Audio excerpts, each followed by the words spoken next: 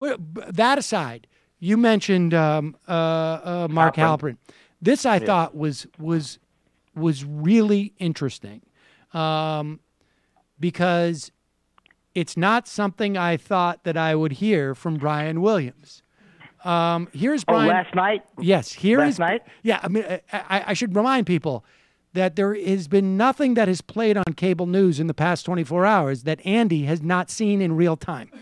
Uh, but here it is. That's, the- that's an actual fact. That I have both. I have both. Se- except I don't. I never watch Fox News because that's that. You know, I'm not an idiot. that would give you a but, heart attack. Um, but I have is CNN and MSNBC going at all times because you know I can watch in the past on one thing and then go to the other. Go to the other area. here is uh, uh, Brian Williams on uh, the 11th hour last night, sitting with Mark Halperin. And Mark Halperin, to you, I say this with charity in my heart as an every evening and weekly viewer.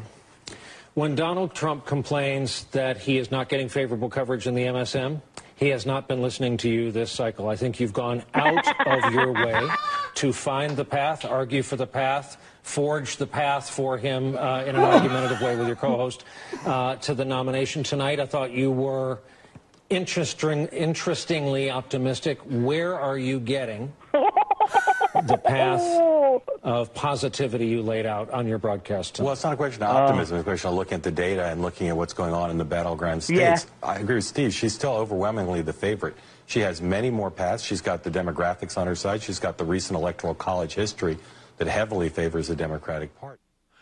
That uh, was, I mean, look, I, you know, I that was about as much of a smackdown as you could get. Uh, I mean, Andy, what's going on there? Well, well, here's the thing.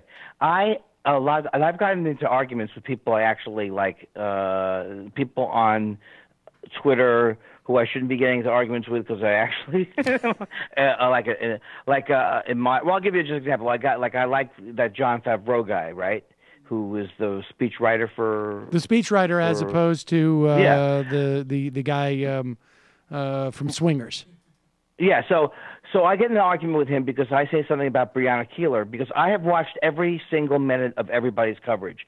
So uh, there was something about how Brianna Keilar covers things, and I said she's a horrible reporter because I, I, you know, I don't talk nicely on Twitter many times. I said she's a horrible reporter, and I've seen her and Cuomo. Uh, both She's a they do this CNN reporter.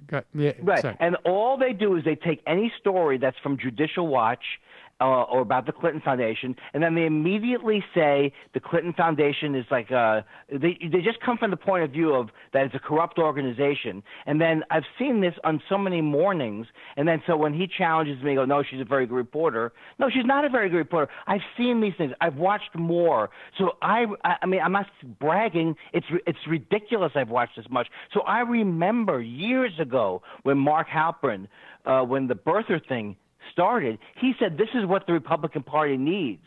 This is this is what galvanizes the base is this birther stuff. So he's been a uh, he's been a huge Trump supporter. Hey, it's Sam Seder. Why don't you uh, subscribe to this channel? You can do so right, uh, right over here. Some over subscribe. Subscribe.